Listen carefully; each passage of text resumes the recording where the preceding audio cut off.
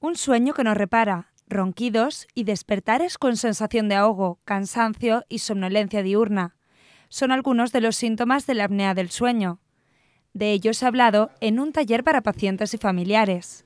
Que el paciente sepa eh, qué es su enfermedad, que se vaya adaptando a, lo que es el tratamiento, que es la CEPAC, y con ello eh, adaptarse a las mascarillas que lleva, para evitar así, que es lo que va a evitar que luego hagan las pausas respiratorias. Entre un 4 y un 6% de hombres y entre un 2 y un 4% de mujeres padece este trastorno.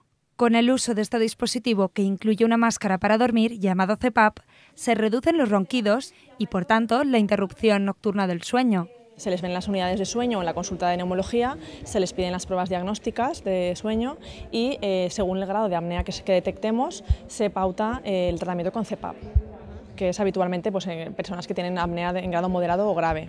¿Pero se puede prevenir o incluso llegar a retirar el tratamiento? Suele darse más el prototipo de paciente, pues personas obesas, entonces se les dice que pierdan peso, que no fumen sobre todo y que tengan buenos horarios del sueño, que eh, vayan a la cama a dormir, que no se pongan a jugar con, las, con, los móviles, con ordenadores. Hemos retirado algún tratamiento con CEPAP en personas que tenían obesidad mórbida, que la han corregido o bien con medidas dietéticas o bien con cirugía de la obesidad.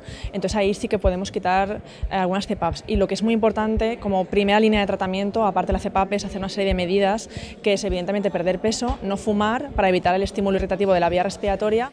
Con talleres como este se consigue completar la formación que se imparte a los pacientes en consulta.